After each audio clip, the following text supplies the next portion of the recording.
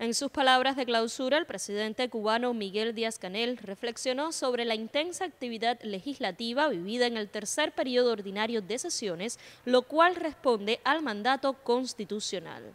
Se han aprobado seis leyes sobre temas de trascendencia para la sociedad y que desarrollan preceptos constitucionales, tres de ellas presentes por primera vez en nuestro ordenamiento jurídico.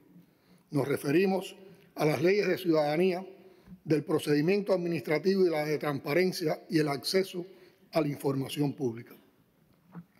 Los ricos debates y aportaciones de los diputados en los análisis de cada proyecto de ley las han robustecido y obligado a realizar importantes cambios de contenido.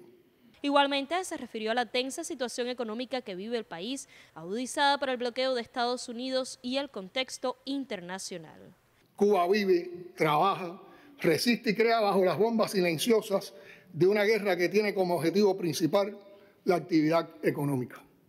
El objetivo es rendir por hambre y necesidades al pueblo, bajo el peso de la política criminal que fue delineada a grandes rasgos en el famoso memorando de Mallory en 1960 y que en estas seis décadas solo ha escalado en agresividad.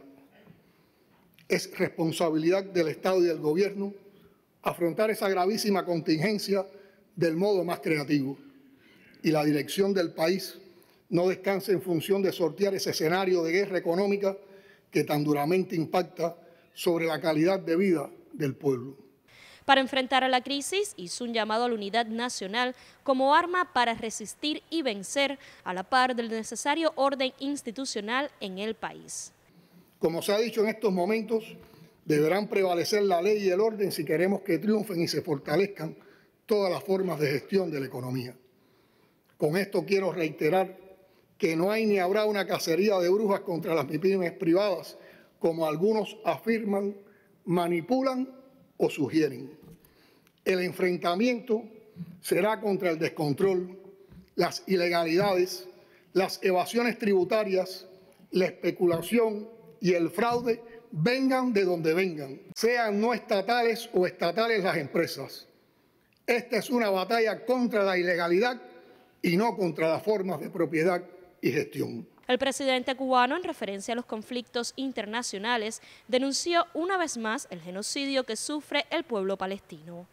Es una afrenta a la dignidad humana que mientras millones se movilizan en todas las latitudes contra ese nuevo holocausto, la llamada comunidad internacional representante de esos millones de ciudadanos del mundo en los organismos globales, resulta incapaz de poner freno a la masacre solo porque los genocidas cuentan con el respaldo y la complicidad del gobierno de los Estados Unidos y de otros gobiernos poderosos aliados del sionismo. Asimismo, aseguró que Cuba fortalece sus relaciones con los países que, a pesar de la crisis global, apuestan por la solidaridad y la paz. La revolución cubana ha continuado ampliando sus vínculos bilaterales con países de diversas regiones.